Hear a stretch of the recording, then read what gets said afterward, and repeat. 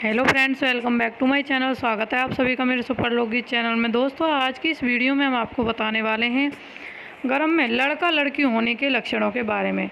हम आपको ऐसे लक्षण बताएँगे जो कि आपको फ़र्स्ट मंथ से लेकर नाइन मंथ के बीच में दिखने वाले सभी लक्षणों के बारे में बताएँगे। चैनल को सब्सक्राइब करें साइड में ऑल को प्रेस करें। हमारे इसी तरह की प्रेगनेंसी से रिलेटेड हर वीडियो का नोटिफिकेशन पाने के लिए। देखो फ़र्स्ट मंथ से, यानी कि आपका जब फ़र्स्ट मंथ ख़त्म होता है सेकंड मंथ से, अगर आपको वॉमिटिंग बहुत ज़्यादा होती हैं, यानी कि सेकंड मंथ से थर्ड मंथ के बीच में अगर आपको बहुत ज़्यादा वॉमिटिंग होती हैं, बहुत ज़्यादा आपको चक्कर आते हैं, आपको बहुत ज़्यादा वीकनेस होती है, आपको लगता है कि आप खड़े होते हैं, एकदम आँखों के नीचे अंधेरा हो जाता है तो ये लड़का होने की निशानी मानी जाती है। अगर आपको वॉमिटिंग बहुत कम आती है, ना के बराबर आती हैं तो ये एक लड़की होने का साइन माना जाता है। अगले लक्षण की बात करते हैं। अगर आपका पाँचवा महीना चल रहा है तो आपके एडी और पंजे में, जैसे आप चलते हो एडी और पंजे में आपको बहुत ज़्यादा दर्द रहता है, चलने में आप दर्द करते हैं, अचानक से ही दर्द करने लग जाते हैं वो, और वैसे देखोगे नॉर्मल तो वो कोई दर्द नहीं होता है तो वैसे आपको दर्द होने लगता है तो ये एक लड़का होने का लक्षण माना जाता है।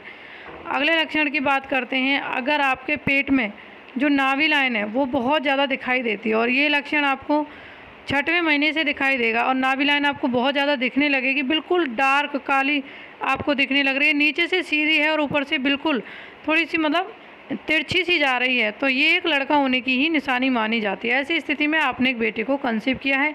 अगर आपकी लाइन नीचे से तिरछी और ऊपर से भी तिरछी है तो ये एक लड़की होने का साइन माना जाता है।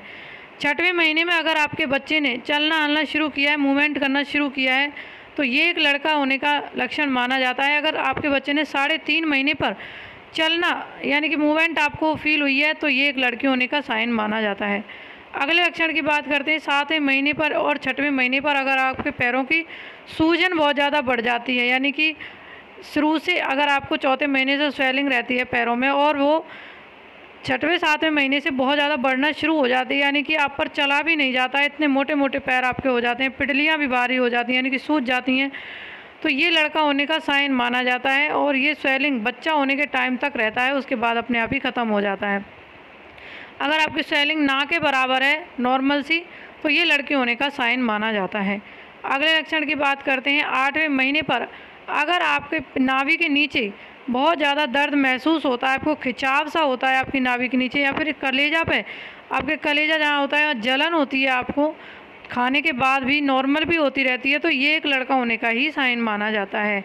ऐसी स्थिति में आपने एक बेटे को ही कंसीव किया हुआ है।